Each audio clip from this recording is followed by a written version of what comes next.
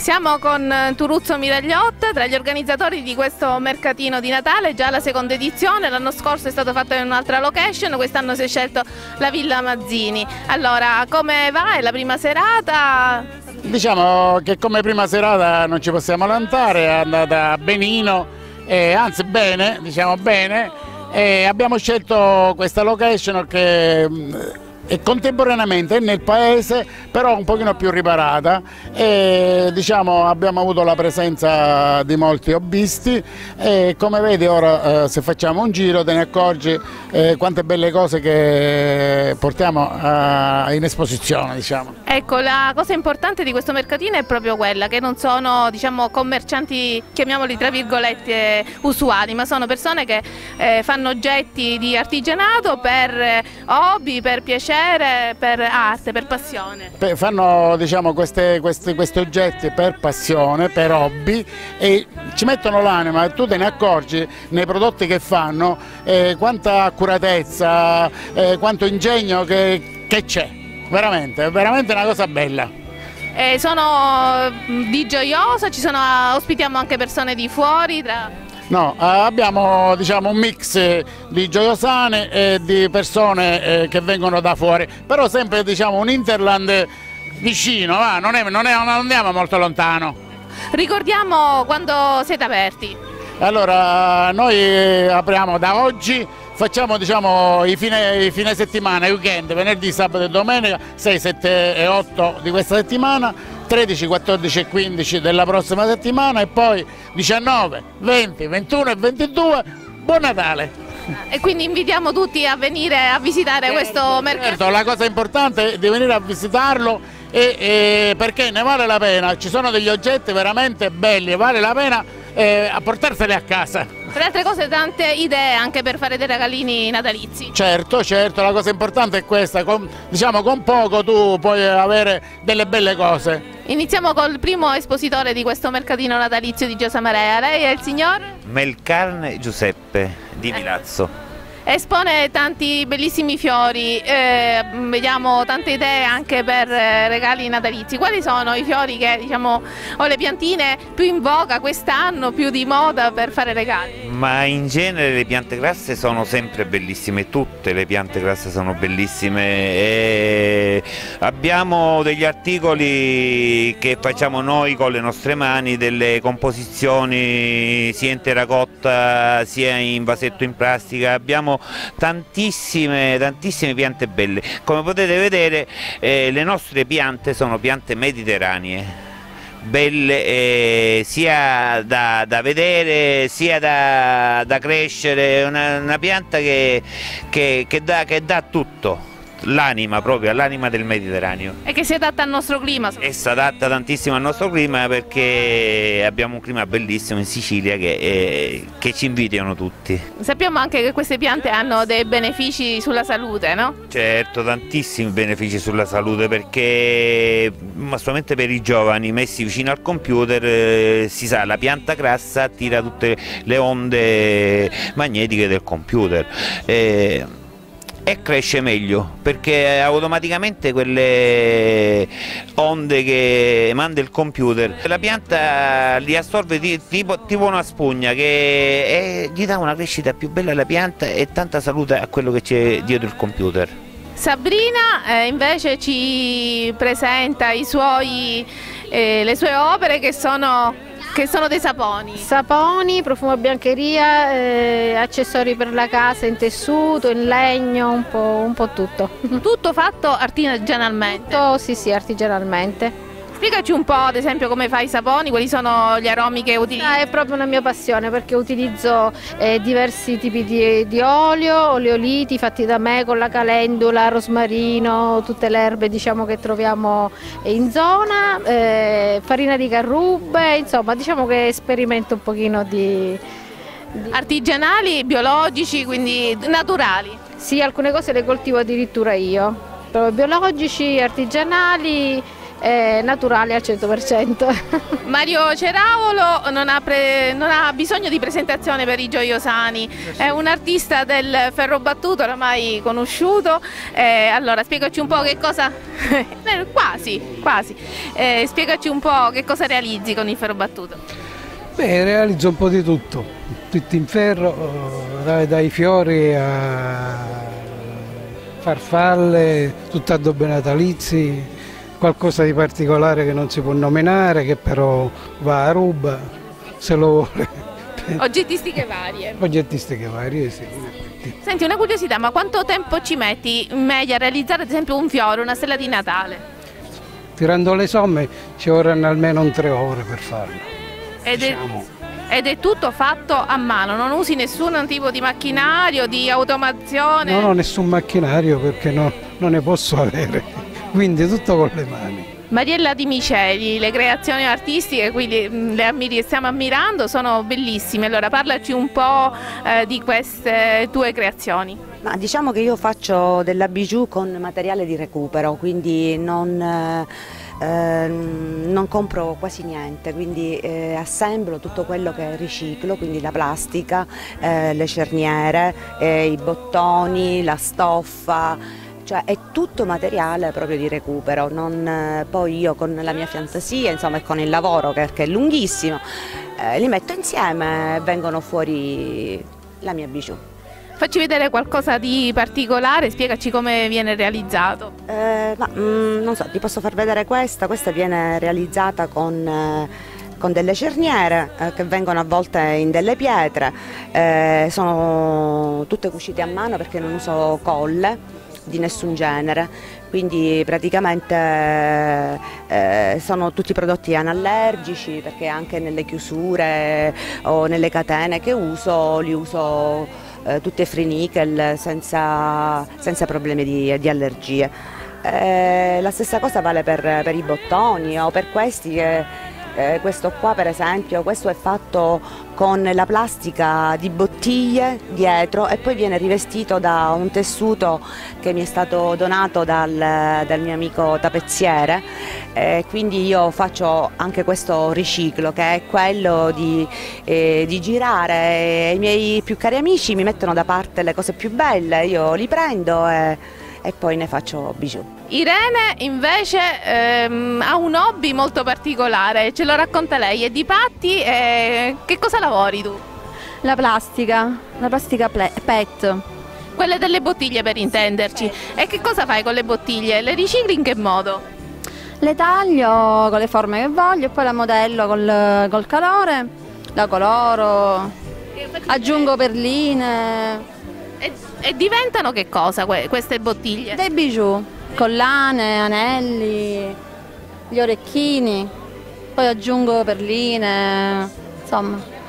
Un po' di così. Dicevo prima un modo anche per rispettare l'ambiente. Sì, infatti, sì, riciclo, riciclo creativo. Il, il, tempo che impieghi in media per fare un oggetto di questo genere, non so, io vedo qua eh, questo bel fiore. No, questo qua è semplice perché alla fine l'ho solo modellato e poi un po' di colla con i glitter. Questo qua è semplicissimo.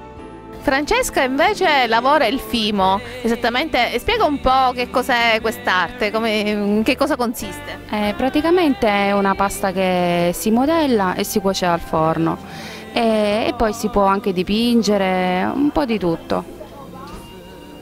Vediamo, vediamo qualcosa eh, delle tue creazioni, spiegaci un po'. Sì.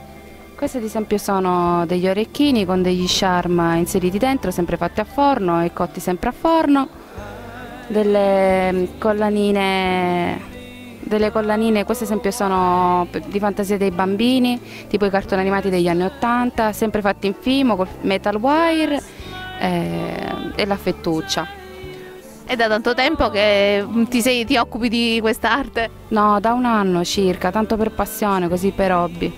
Bravissima, complimenti. Scopriamo un'altra hobbista gioiosana, Patrizia Giaimo, che invece fa che cosa? Cuscini, però a forma di fiore, sia da una parte che dall'altra. Si gira con foglie che si staccano e si possono mettere in qualsiasi tipo di posizione abbinabile a tutte divani, letto, in qualsiasi, qualsiasi circostanza. Come li realizzi questi cuscini?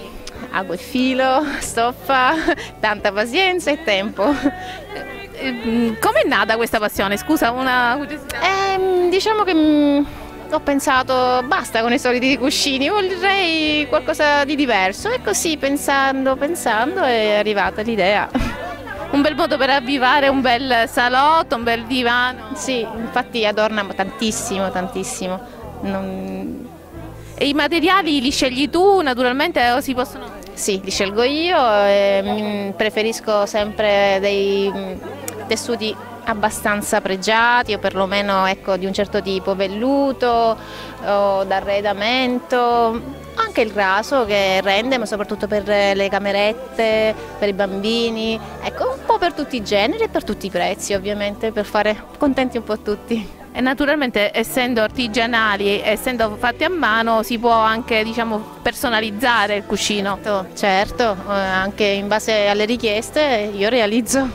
Il bello è questo anche. Simonetta Barberi invece è un amante del... del patchwork, praticamente faccio sfere natalizie di patchwork che è una tecnica nordica, uso praticamente le vere stoffe natalizie stoffe americane, praticamente faccio queste palline qui, varie tecniche, c'è questa qui a ciuffetto, questa qui a intaglio, eh, varie misure. E inoltre mi occupo anche di riciclo creativo dove uso varie tecniche anche lì, plastica, cera, vetro, giocattoli per bambini, cannucce, qualsiasi tipo di cosa. E mi piace reinventare un po' tutto e, e nulla. Cerco di prendere un po' spunto da tutte le cose che vedo in giro. Quindi un lavoro certosino mi sembra quello che fai tu, c'è molto di precisione, di accuratezza. Sì, soprattutto anche molto di pignoleria. Eh, perché sembrano fatti a caso, messi- colori lì messi a caso, invece non c'è niente di... di- No, perché devono essere tutte stoffe accuratamente messe, assemblate insieme, non a caso il patchwork viene detto proprio così perché sono assemblate tutte le stoffe proprio tono su tono, infatti tutte le gradazioni devono essere assemblate tutte insieme, quindi tutti i disegni vengono poi, quando vengono messe insieme si vedono che non sono messe a caso. L'arte di Mariella Cicero è quella invece di decorare le tegole. Allora spiegaci un po' com'è nata questa passione e come diciamo, si, si- si decorano le tegole. Niente, da ragazza ho sempre avuto questa passione del presepe, poi ho incominciato a decorare le tegole, ehm, quelle là più grandi, e poi ho fatto il presepe anche sulle tegole, così semplicemente, mm, passandomi un po' il tempo.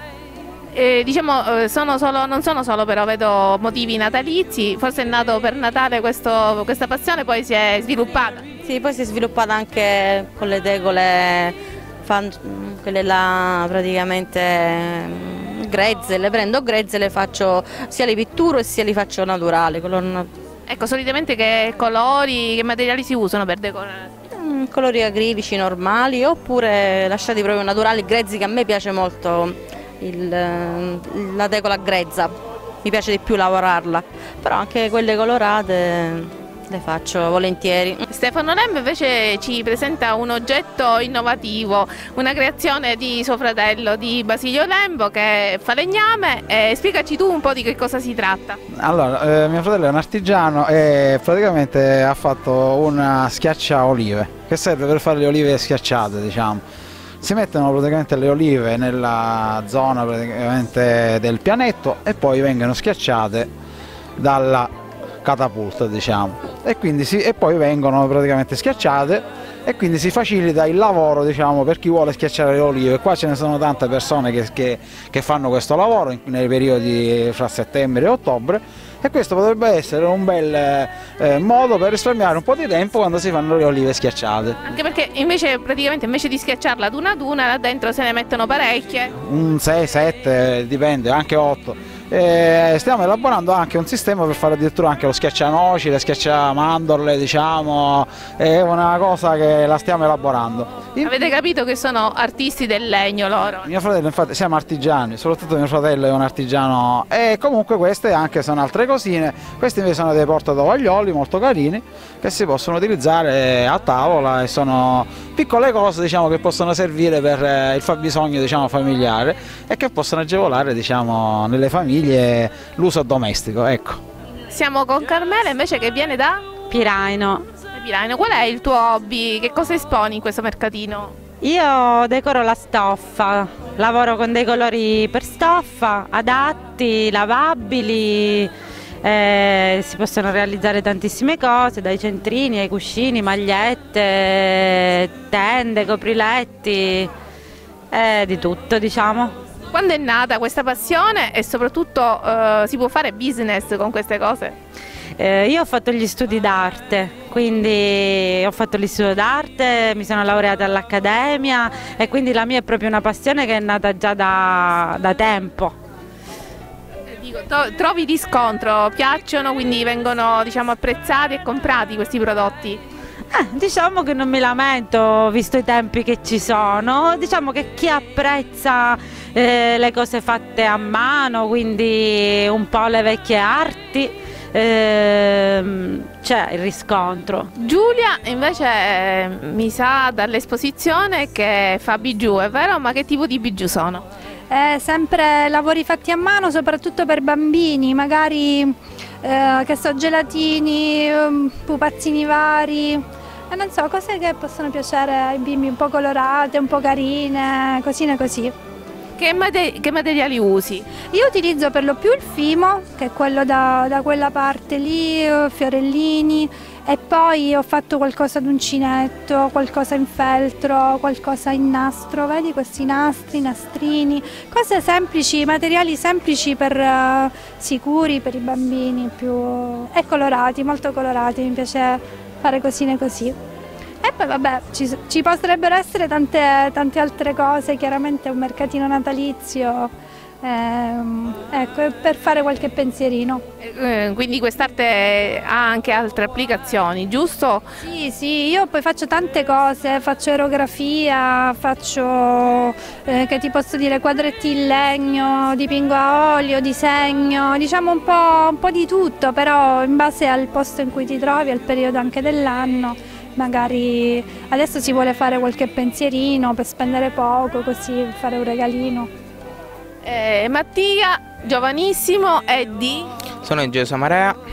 Allora, che, qual è la tua passione? Allora, noi, io insieme ad Antonella abbiamo realizzato questi oggetti in fimo eh, tutto è incominciato in un pomeriggio quando abbiamo fatto una piccola ricerca su internet abbiamo trovato questi lavoretti fatti in Fimo. Abbiamo voluto provare e sinceramente devo dire che sono riusciti molto bene. Per essere le prime volte ce la siamo cavati. No?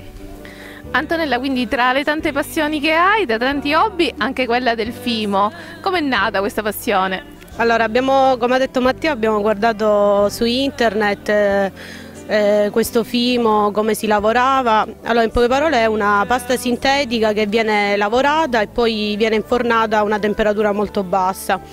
E a mano a mano abbiamo iniziato a fare delle orecchine, poi dei portachiavi e delle, delle collanine a mano a mano comunque che ci prendi la mano eh, riesci a creare tutto quello che vuoi. Poi siccome sapevo fare anche dell'uncinetto e qualcosina con i ferri abbiamo fatto delle spillette con eh, l'uncinetto. Ecco, ma la creazione, cioè come nasce il disegno ad esempio dell'orecchino? Il disegno l'abbiamo creato mano a mano che, che, facevamo, che guardavamo questi video e a mano a mano poi ti viene da sola la creazione, quindi abbiamo fatto delle girelle ad esempio, delle roselline che sono molto semplici da fare, abbiamo fatto delle mollettine con eh, dei fiocchetti sempre fatti in fimo.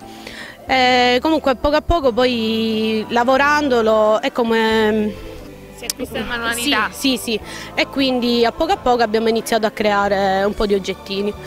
Eh, come prima esperienza devo dire che ci è riuscita molto bene eh, speriamo che riusciamo a venderle e che piacciono perché non tutti possono piacere questi lavori. Auguri, complimenti. Grazie. Grazie. Nunziatina Casamento, alias Araba Fenice, conosciuta per le sue creazioni con la lana al telaio. Allora, mostraci qualche novità. Allora, sono tutte novità che ho fatto quest'anno con della lana nuova. E allora faccio le sciarpettine così, eh, di vari colori ovviamente, eh, degli scialli, visto sono belli morbidi, di colori tutti attuali e poi tutto quel genere lì, poi faccio altre, anche altre cose che qua non ho portato. Ecco, magari ricordiamolo perché magari chi fosse interessato, innanzitutto diciamo... Lavoro al telaio, lavoro al telaio antico, tradizionale e lavoro il cotone, la lana, le fettucce di cotone, realizzo i tappeti, le borse, degli arazzi, le sciarpe. E oltre in questi mercatini diciamo particolari, artigianali e così, eh, ti possono trovare dove? Uh, attualmente mi trovano a Cefalù. Prima mi trovavano anche a Gioiosa, adesso o nei mercatini così oppure a Cefalù diciamo 8 mesi l'anno. Il signor Alfio di San, San Piero Parte, sì. Allora, qual è il suo hobby? Mm, io intravedo qua dei cestini bellissimi, quindi capisco che è una delle arti più antiche Ecco, infatti due antichissime arti ho voluto abbinare ai miei hobby, eh, quello che è l'intreccio dei vimini, perché i cestini sono di vimini, e la pirografia, addirittura la pirografia risale a, ai tempi arcadici, insomma, antichissime, antichissime due arti. La pirografia sarebbe la scrittura con il fuoco, giusto? Come funziona? Perfetto, funziona eh, tramite, tipo si potrebbe spiegare in parole povere, come un saldatore, come un saldatore che con delle punte infuocate va a intaccare il legno e quindi lascia, lascia de, delle tracce di bruciato. È così, insomma, in parole povere spiegata la pirografia. Questi quadri quindi sono fatti con la pirografia, con la tecnica della pirografia, è tutto fatto naturalmente a mano, artigianale. Eh, tutto fatto rigorosamente fatto a mano artigianale, partendo dalle basi, dai cesti, ritagliando il legno, bucandolo con il trapano, poi disegnarlo con il pirografo e poi intrecciarlo con il. Quindi due eh, elementi ci stanno in questi piccoli diciamo, oggetti, che è il legno e il fuoco. Noemi viene da San Piero Patti eh, vedo tanti oggetti che possono essere utili per fare tanti regalini natalizi, siamo in questo periodo. Tu che cosa lavori? Qual è la tua passione?